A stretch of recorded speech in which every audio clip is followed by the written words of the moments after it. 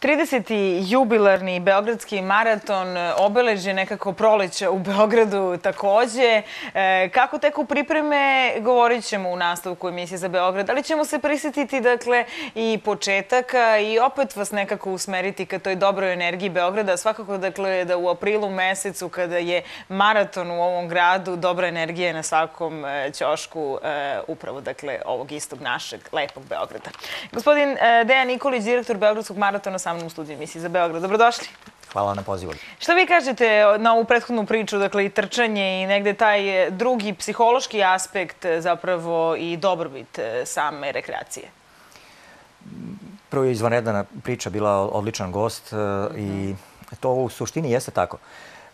Obično se zapitamo za mnoge stvari u životu, zašto se to tako događa. I nije mhm. slučajno, između ostalog, da se povećava sve više broj učesnika i na Beogradskom maratonu i u polumaratonu, i u maratonu, i u trci zadovoljstva. Polumaraton i maraton su 21 km, 42 km. To su ozbiljne distance uh -huh. za bilo koga.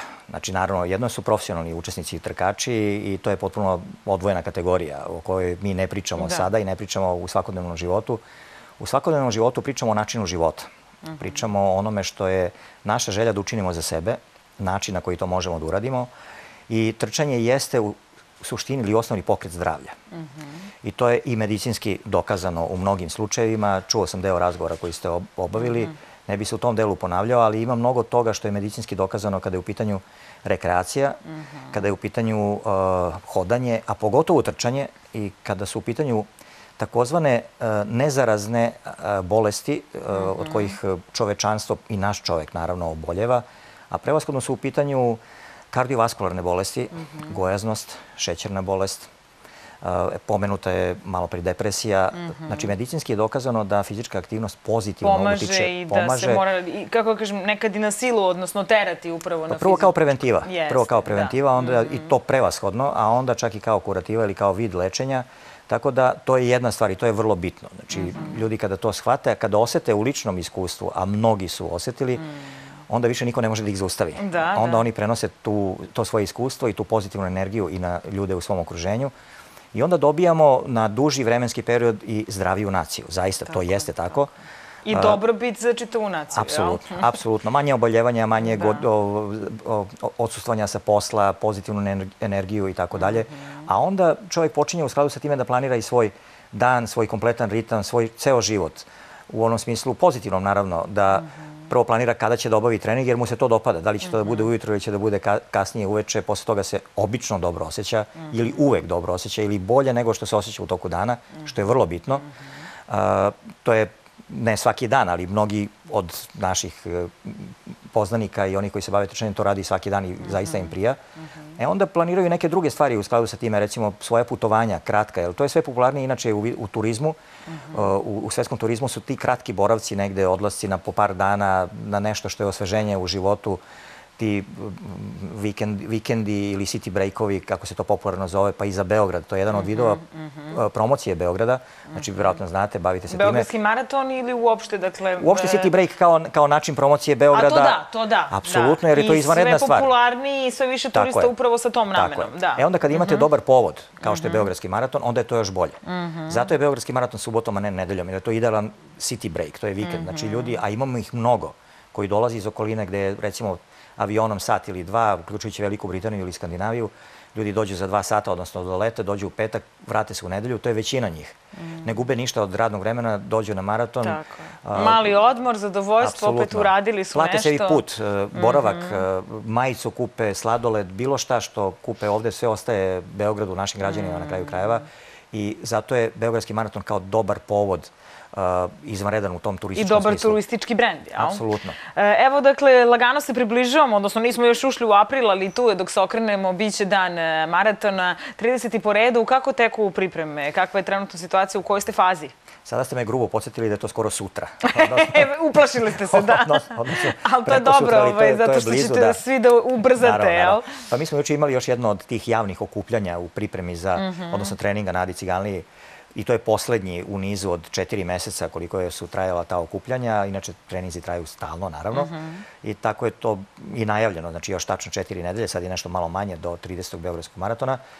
Tako da pripreme teku u skladu sa onime što smo planirali i kako smo planirali još skoro godinu dana ranije, sa manje više nekim pomeranjima, zato što nikada ne možete da uradite nešto, pogotovo tako veliki i, i, i kompleksan događaj na način na koji ste to zamislili.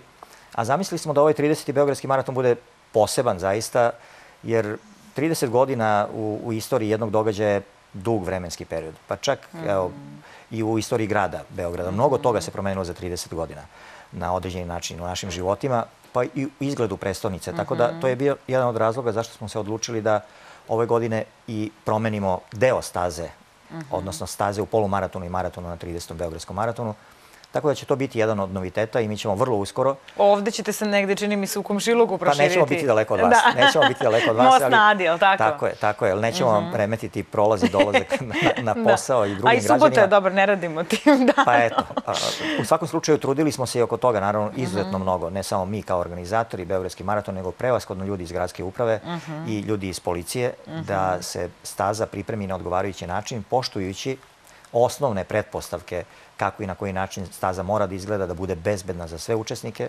naravno i gledaoce, da ispuni još neke tehničke kriterijume, a onda naravno da u što blažoj formi poremeti, tako kažemo, život grada, jer grad, na određeni način se uvijek to poremeti. Znači, ne Da, ali može nekako regularno Beograđani su već navikli, tu se manje tačno. ljute u odnosu na druge dane kada je zastoj eventualno... Drago bi nam bilo da je tako, Pa ali- znaju, navikli su da je maraton. To jeste, mi to nekako. zaista tu nema mnogo da... dovoljno baš- napred najavimo. Pa, Mislim, da, zna se da, da, će da, biti, evo sada da. pričamo već koliko Da, će to biti unapred, jest. tako da nadamo se da mnogi mogu da izbegnu bar tih šest sati koliko Mhm. je saobraćaj drugačije regulisan, malo više do duše, i da se prilagode tome, ali staza neće biti promenjena kompletno. Znači, start i cilj ostaju na istom mestu i veći deo staze će biti gotovo identičan. Hoćemo da pomenemo ovaj deo koji će biti nešto Pa drugačiji? to ćemo uraditi još- u narednih par dana, Dobro, pripremamo se dobro, kompletno smo da, da, da to da objavimo na odgovarajući da. način, naravno, i posle toga ćemo stalno nekim sistemom daljih objavljivanja informisati javnost kako i na koji način će funkcionisati saobraćaj i tako dalje. Da, sve na vreme, nekako smo i navikli e, na takav sistem funkcionisanja. E, Sada kada govorimo e, o e, broju učesnika, prošle godine, koji je to broj bio?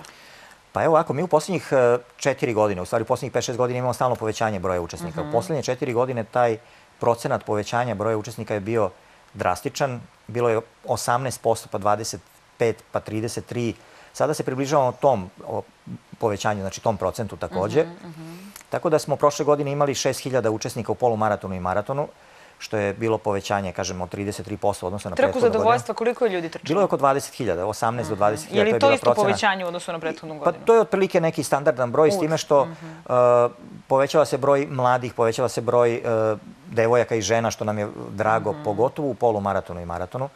I to po nekoj stopi od skoro 50%, e, što je vrlo značajno, naravno, jer iz nekoliko razloga, da ih ne pominjemo sada, ovaj, verovatno svi razumeju, ali ono što je takođe vrlo bitno, to je da se povećava broj učesnika iz inostranstva i po stopi od 50% i nešto više.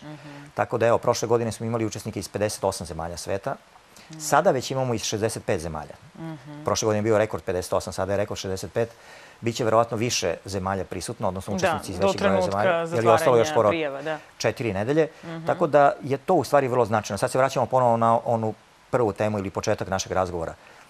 Šta ljudi vide u Beogradskom maratonu i u Beogradu da iz 65 zemalja sveta dođu u Beograd? Da dođu u tom povodu, da dođu na taj događaj, da sve sami sebi Dakle, plate. to su činjenice. To je Nema tako. sad kao mi da Ljudi su- sprovodimo PR, nego Tako, je. činjenice Ljudi su registrovani, ljudi Da. su prijavljeni, vidi se iz kojih zemalja dolaze i to je zaista izvanredno. Mhm. I mi smo tek sada na početku tog izuzetno značajnog posla, a mi smo ga nazvali zajedno sa gradom Beogradom, a, strateško pozicioniranje i predstavljanje Beogradskog maratona na destinacijama koje su za nas interesantne, a to su emisione destinacije kada je u pitanju trčanje. Znači, ovo što se sada kod nas događa, dogodilo se ranije na mnogim drugim destinacijama, u mnogim drugim zemljama, jer su i e, nacionalne strategije i razvoja sporta i opšte zdravstvenog sistema prepoznale trčanje kao vrlo korisno za ceo, o, da kažem, čak i poredak na određeni način u, u, u tim zemljama, od Sjedinjenih američkih država pa nadalje. Tako da u Americi ima preko 35 miliona trkača aktivnih koji trče, putuju širom sveta. U Kini se sada to približilo. Sa 5 miliona je došlo do 35 miliona i mi ćemo ove godine imati organizovani dolazak kineskih trkača i učesnika.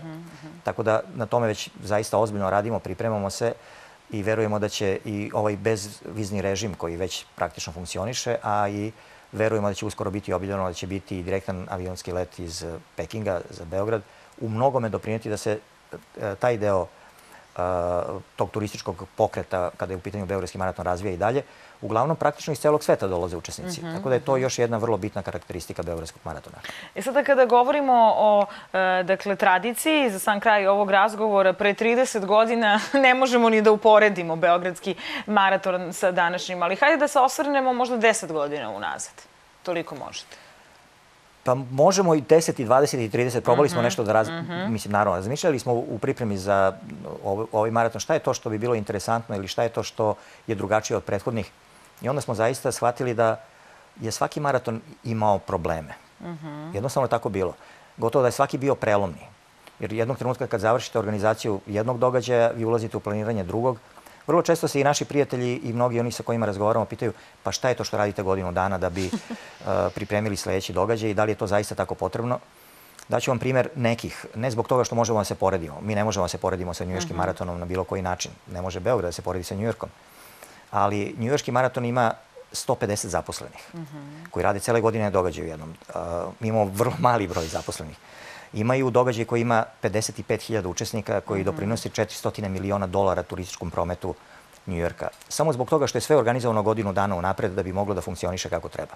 Oni objavljuju početak prijavljivanja za taj događaj gotovo godinu dana unapred. Mm. Što znači da su godinu dana unapred pripremljeni da realizuju događaj na način na koji su zamislili. Mm -hmm. Mi smo sada došli od toga da smo na pet meseci pre događaja, ove godine smo prvi put to uradili čak i više, u stvari šest meseci pre samog događaja, otvorili smo sistem prijavljivanja. Uh. -huh. Kad otvorite sistem prijavljivanja, Već je znači, priča. Znači da uh mhm. -huh. morate da uradite ono što ste ljudima obećali da ćete uraditi, mhm. onima koji dolaze iz inostranstva. Trudit ćemo se da ove godine to bude još mnogo ranije, tako da eto, govori tome u prilog da zaista mora mnogo ranije unapred da se sve pripremi, da se organizuje. Drugačije je bilo pre 10 godina, evo vi ste malo prepomenuli, uh -huh. nismo imali takav sistem prijavljivanja. Sad idemo ka tome da imamo jedan integrisani sistem kompjuterski od prijavljivanja, dodele brojeva, i svega ostalog što... Dakle, napredujemo iz godine u godinu. To je činjenica i mo možemo da kažemo mi smo i moramo da budemo na svetskoj utakmici. Mm -hmm. S obzirom da postoji veliki broj maratona širom sveta, znači ogromna je I konkurencija. I tolika zainteresovanost, 65 zemalja do sada. I dalje postoji, da. moramo da napredujemo dalje da bismo učesnicima prevashodno izvršili uslugu koju očekuju da bi došli u Beograd ili da bi ponovo došli u Beograd, što nam je vrlo bitno. Hvala vam puno, gospodine Nikoliću, na izdvojenom vremenu. Mi ćemo se vidjeti svakako do Beogradskog maratona. Tu smo i da kamerom ispratimo sva dešavanja i da pozovemo veliki broj ljudi dakle, da se priključe. Hvala vam na podršku.